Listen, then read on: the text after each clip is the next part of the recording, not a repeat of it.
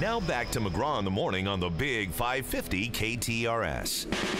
This hour is presented by Affordable Kitchens and Baths. Visit them today at affordablekitchensandbaths.net. David Stokes from the Show Me Institute every Monday, and we got lots to get to. A little programming note. Not only are we going to talk some serious news here, but uh, you should know, David Stokes, that coming up at 9 o'clock, Desiree from The Bachelor, who was voted off last week, she's joining us at the top of the hour. Live in studio? Not live in studio. Oh. Not that good. but on the phone is going to be good enough. That's still pretty cool. Still pretty good. So we'll, we'll get the the lowdown on her tatted brother who was calling out Sean. So that's coming up at 10. Right now, though, a couple things in the news. David Stokes, one in which you've been following uh, very closely, and this is this Ellisville uh, Walmart situation. And um, a, I guess, a related, unrelated story is that the city council, the aldermen in Ellisville, now want to impeach the mayor of Ellisville. It's it's really getting more insane with each passing week, and this is this is hard to fathom. Apparently, the mayor made a mistake at a city council meeting a, f- a few months back, where some resident was in his face screaming at him, and he had the audacity to ask the policeman who was like standing right there to intervene before this woman punched him or something. Well, of course, that violates the city charter because the mayor has to go through the city manager before he contacts any employees, even if apparently a confrontation is occurring and there's a police officer right next to you. So they voted five to two to h- impeach the mayor. Well, they had a council. They had a special council meeting a week ago to investigate some of these charges, and they at that meeting they declined to press forward. Then, and then a few days later, they surprised everybody by voting to go forward with an impeachment, presumably on that and potentially other charges. But- which but- we'll wait to see what those other ones will be. But they voted five to two to impeach him. However, they haven't released the reason as to why they want to Im- impeach him. Right. It's. I mean, you could you could look long and hard before you find a worse example of of, local, of horrible local government than Ellisville over the past year. Right. I mean, this is just reprehensible that this one man who had the audacity to fight a TIF and then further had the audacity to not be in the core clique of Ellisville City Council members, Right. Which is not a clique I'd like to be a member of myself. Right. So now they're just whatever they can do to destroy Mayor Paul, they're they're going to do. They've tried to destroy his reputation. They won their battle. It's they they've won. They got the TIF, but they they're not going to be content until they destroy him. It's like that Saturday Night Live skit of a few years ago where the election's over and the winning candidate still ran his negative ads against the loser for, like, a month for like a month on because he just wanted to crush him. The there's a there's a uh, election coming up in Ellisville in April, correct? There is, and there's a number of seats on the city council up. and there's a lot of anti-TIF people running, and the the rule, the general idea is that the anti-TIF crowd is, is going to win the day and vote in many of these people who are against the TIF and vote out the people who voted for the TIF. I think there's an excellent chance that will happen. I certainly hope that happens. Just Right. as a just as a fan of good government in general, Right. I hope that that happens. I think it will, and that's one of the reasons they're rushing through this impeachment now because they've only got a, a few more weeks here to do it. So you have a local municipality wanting to impeach a mayor. They have yet to tell the public why, and yet they voted five to two to impeach the guy. What's the next step? Is he out? If five to two vote, that's enough votes to sort of get him out. I think so. I mean, I I think that that is it. Luckily, there will certainly be a lawsuit, and because they apparently have so little grounds for this, now maybe they've got something big that they're not releasing. I Right. doubt it. I doubt it immensely. Right. Because they appear to have so little grounds, I think there'll be an excellent chance that this won't stand up in court. If they had a reason and a really good reason, they probably would have mentioned it at some point. Right. I mean, they're just making themselves look Worse. worse, like if, which is an accomplishment because they looked pretty bad beforehand. Uh, it's outrageous. And, and what's worse in all of this is they think they can do it, and no one will ask questions.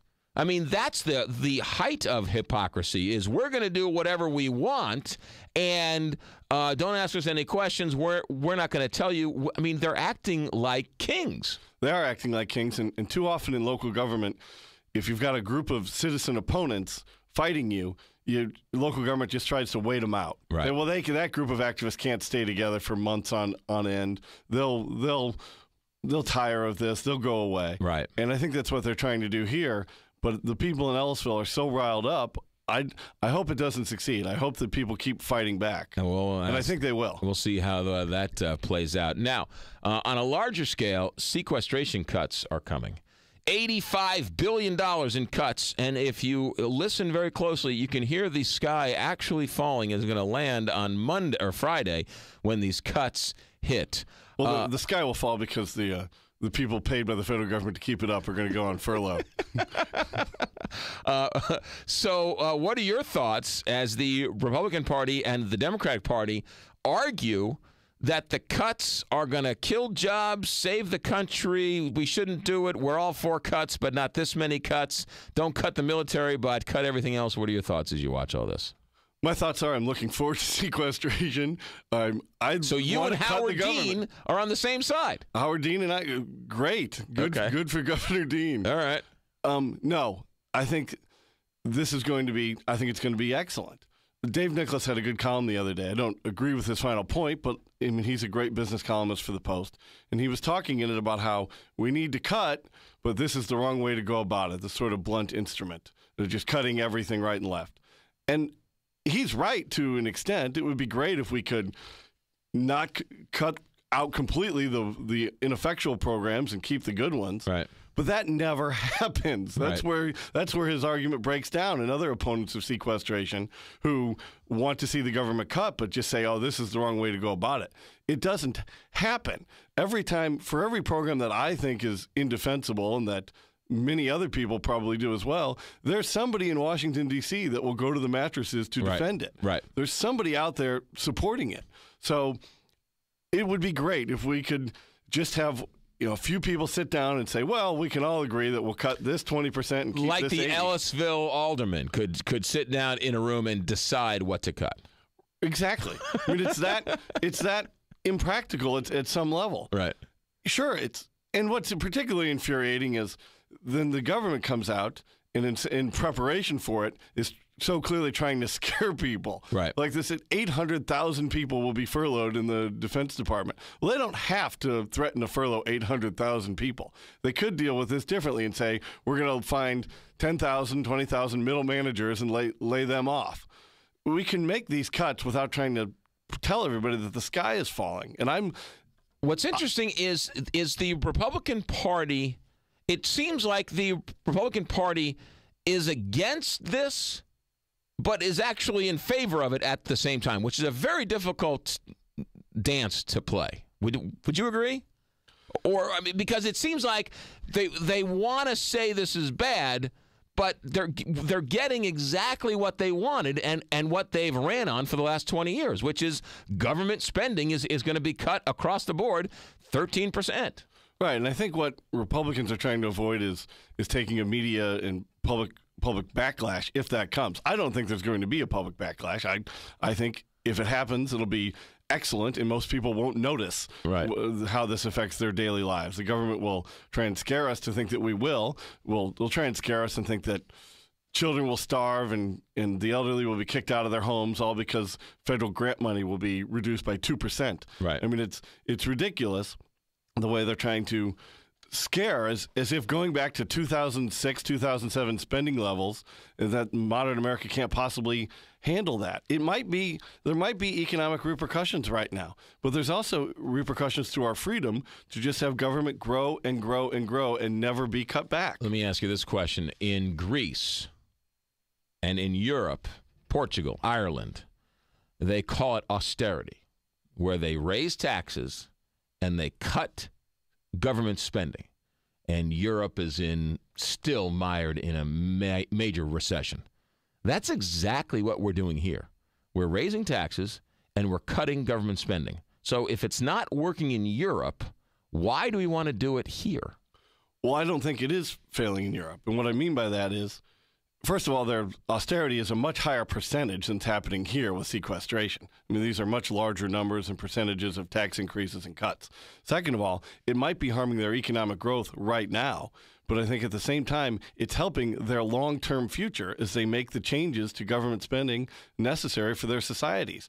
To say they shouldn't be doing austerity is to say they should continue to spend and spend and spend and grow their welfare states and grow the, the government sector of the economy without ever without ever changing it. You, some people might say, well, wait till the economy turns around and then you can do it. And that's great in theory, but that doesn't happen in practice either. When the economy is going around, people say, well, we have the money. Let's continue to, to spend it on larger social programs. You, if you're conservative, if you believe, you don't even have to be conservative to think that you shouldn't spend more money than you have. Right. That's a, a famous line from the New York Liberal Party. There's nothing liberal or conservative about spending more money than you take in. if you believe that you we should have our government is too large, as I do, then you should be looking forward to these sequestration cuts, as I am. All right. Some of the things they say will happen uh, is that Missouri airports will close. Air traffic uh, operators will close. Jefferson City, Columbia, Branson, Joplin, St. Joseph. In Illinois, airports serving Carbondale, Murphysboro, Marion, Springfield, and Bloomington will all see their air traffic operations shut down. Well, these are the type of baseless threats that they're designed to scare people. You know, you're talking a 2% cut in expenditures. Perhaps that's across the board. Right. So it's going to be larger in certain departments. But the idea that airports are just going to close because you have this small cut in government spending is a scare tactic. And I don't think people should buy it. I mean, the government should be capable of adjusting some schedules, cutting overtime, firing a few middle management paper pushers to deal with this type of cut and still provide services. And if they can't if they can't deal with a 2% overall cut without catastrophe, then that to me is an argument for doing even more of it, not less. Ladies and gentlemen, we now sit in a world where David Stokes, the Show Me Institute policy analyst, and Howard Dean, the man who used to run the Democratic Party, are on the same side of this issue. Well, I'm, I'm glad for Governor Dean that he's finally right for once. Don't tell Rex, or oh my goodness. uh, David Stokes, where can we read you? When can we see you? You can see everything we write at Show Me Institute at our website, showmeinstitute.org. Our blog is showmedaily.org, and you can follow me on Twitter at David C. Stokes. Have a good week. Thanks, McGraw. 850, we'll check uh, traffic and weather and talk a little Mizzou hoops with Mike Kelly next on KTR.